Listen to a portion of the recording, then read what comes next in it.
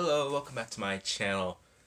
Uh, so yeah, today's video is nothing really special. I just wanted to record a little intro for it to see how those go.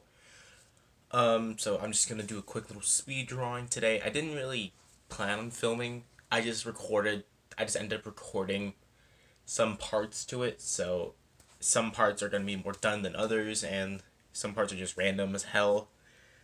So yeah, I just want to put that little context before the video actually starts, so yeah, heads up for that.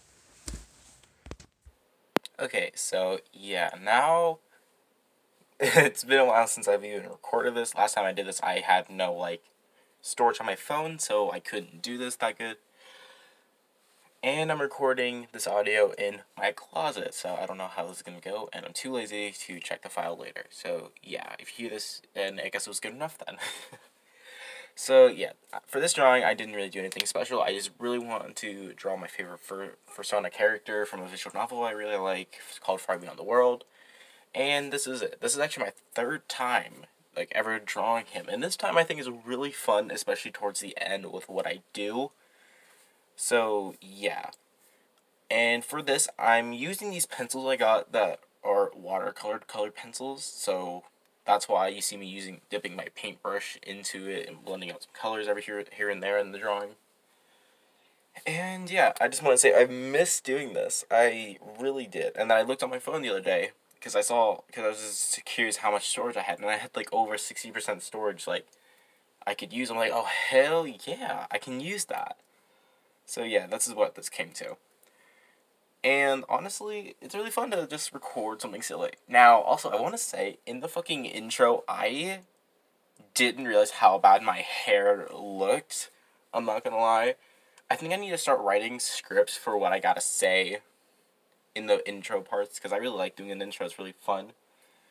But yeah, this time I just didn't record it, and this is actually throughout a span of two days as you, like in this part, I have my jacket on, and it's like literally the day of school ending. Like it was the last day of school for me. I'm officially gonna be a senior. Hell yeah! And yeah, and I was just in my uh, jacket I got. So yeah. Honestly, there's nothing really much to say, but these clips, since they're from two different days, I didn't really plan on actually recording anything in particular. As you can see, it's this is like way more done. I'm over here adding a little bit more detail. And yeah.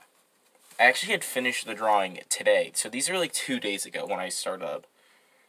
So that's why they're like hella like different time periods, I guess. I'm trying to remember when I actually filmed like those two. I wasn't planning on doing more, but I don't know, this is what I got. So I'm just gonna try making a fun little video out of it.